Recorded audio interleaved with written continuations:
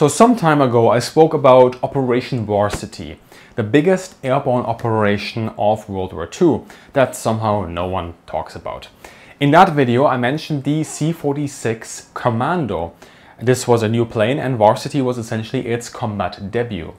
It was also going to be the last time that plane flew combat operations like that because there was a problem.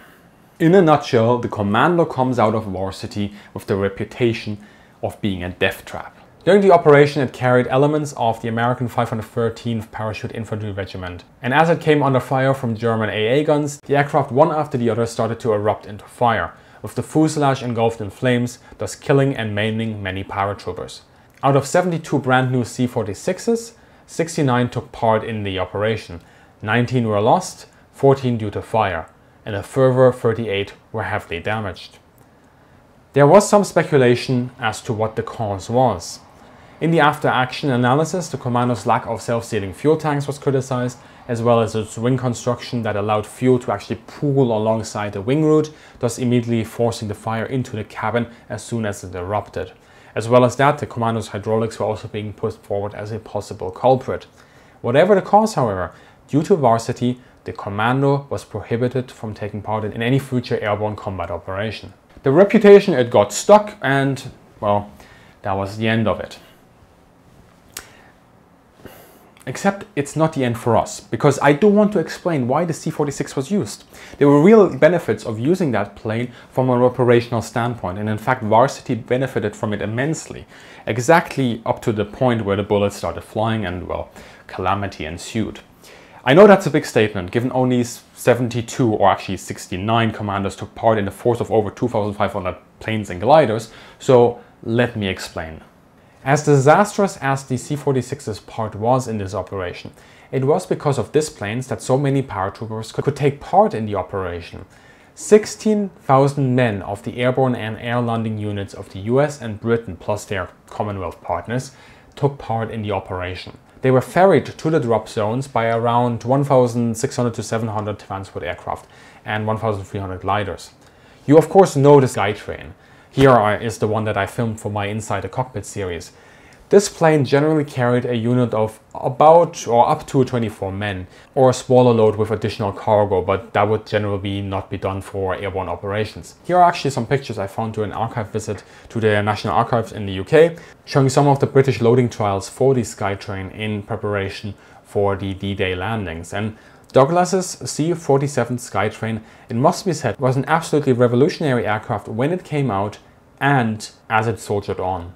But it was limited to 24 men. And when Curtiss came along with the Commando, well, the Commando seemed to bypass the Skytrain in almost every conceivable way as a transport aircraft. In terms of hard stats, the Commando traded volume and weight for range compared to the C-47. What is crucial here is it does not just carry more weight than a Skytrain, but it had double the cargo volume. In terms of combat drops, the C-46 could carry 40 men for the Skytrain's 24 to 25. At least in the British trials, they called like 25 as the absolute maximum.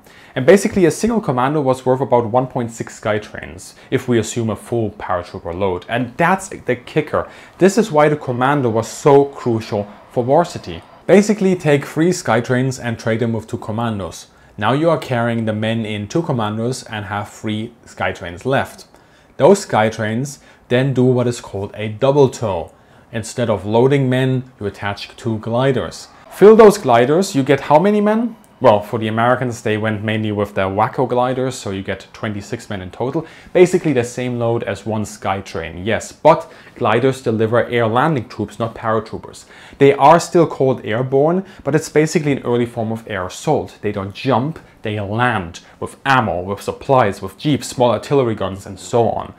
And every American airborne division had two parachute and one glider infantry regiment attached to it. And each regiment had a field artillery battalion. And those for one definitely need a glider. So two commandos for three Skytrains gives you six gliders for two commandos. Quick maths right there. And that allows you to add those air assault units that are very different to conventional paratroopers.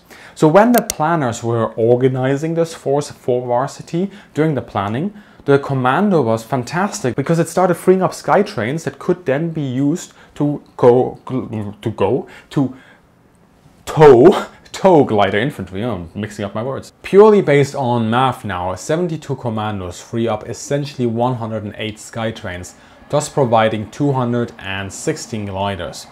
I don't have the exact numbers for how this ratio worked on varsity, but I imagine I am somewhat close. In fact, in the publication Airborne Operations in World War II by John Warren, the author states that it was agreed that the American airborne should have a paratroop lift of 226 C-47s and 72 C-46s, the equivalent of 370 C-47s, and a glider lift of 906 Wacos towed by 610 C-47s. Based on this calculation, a single C-47 commando actually accounts for two C-47s. That is 177 Skytrains and 20% of the C-47 force that is towing gliders. The reason why it's not double is that probably not every C-47 did actually do a double tow. Of course, the C-46 had already been known to be quite a maintenance intensive aircraft and there had been rumors about potential fire hazards. And yes, out of 96 that flew the missions, losing 19 is rough. 14 of those to fire.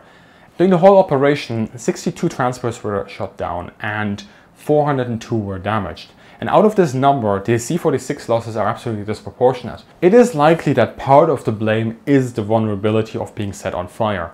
In other regards, the C-46 were actually said to be quite tough. But one other reason is also important, that is that the C-46 came in the second wave, when the German AA gunners were already on full alert and blasted at basically anything that was flying in the sky. And considering that most transporters that day came in low and fairly slow to prepare for that drop, you can't go at full speed, well the commandos, just like all the other planes, made a very easy target and considering their vulnerability and considering the sort of the context of the engagement, they really got the short end of the stick. The context here matters as always. The C-46 overall was a good transport aircraft in many ways, but in the first operation where it was used in combat conditions, well, it got the short end of the stick. And that, paired with the one critical vulnerability it had, sealed its reputation forever. One of the cool things about the C-47 and Operation Varsity is that there is at least allegedly a lot of footage that comes from this operation showing the C-47s. You've seen already some of that in this video, but here we have, of course, a C-47 taking off. And there's another one here that shows a crashing C-47 during takeoff. It's one of the three aircraft that didn't actually in the end take part in the operation. In the background, we've got a couple of planes waiting there. And if we look now in the foreground, we can already see people running away. The C-47 veering off course two things here as it comes closer. Look at the rudder. You will actually see a little bit of a deflection there as well. So the pilot is trying to steer it towards the right as it goes down this, this bumpy uh, grass field next to the runway. And also notice that there is something strapped below the fuselage of the C-47. I assume because it does look uh, later on we can see a sort of so parachutes with packs being attached that falling off the aircraft I assume this is extra equipment that would be dropped together with the power paratroopers. If somebody has more information on this, please let me know. That would be very interesting to, uh, to read about. Now, as it gets closer here, you start seeing, well, there's a grasshopper in the foreground, people are running away, and but that looks like a Noorduyn Norseman. You don't see those that often. Um, a couple of more people running away, and now we start seeing those packs dropping away and well, one truck is getting crashed. And look now, also in the cargo door, there is going to be what appears to be a person soon tumbling out of it. There we go. I'm not sure if that's actually a human, but it did look like it. And then finally comes to a standstill, crashing into more stuff next to the airstrip. Now let's watch that again with full speed and the original commentary from the archive footage.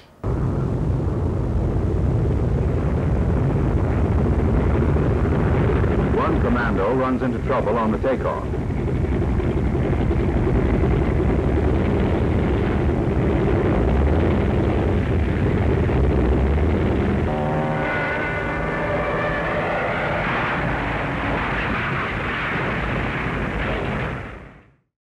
By the way, make sure you watch actually the initial video about Operation Varsity that I made. And at this point, also big shout out to my Patreon and channel members. Thank you for supporting the channel and I hope that you of course also enjoyed the early access you got to this video and of course I will see some of you fabulous people over on our Discord server as well. I'd also highly encourage you to check out this video by my friends over at Real Time History. They produce some absolutely cracking documentaries as well and in fact they have visited some of the battlefields where Operation Varsity took place and also in their Rhineland 45 documentary as well as in this video on their YouTube channel they explain how that operation fits into the wider operation operations to breach those Rhine defenses in March 1945. But now it is your time to tell me what you think about the C-46. If you want to add anything, have you learned anything new, or do you perhaps have a suggestion for a plane to look at in this sort of irregular series that I have that's, well, in defense of? Put that down below, and as always, have a great day, and see you in the sky.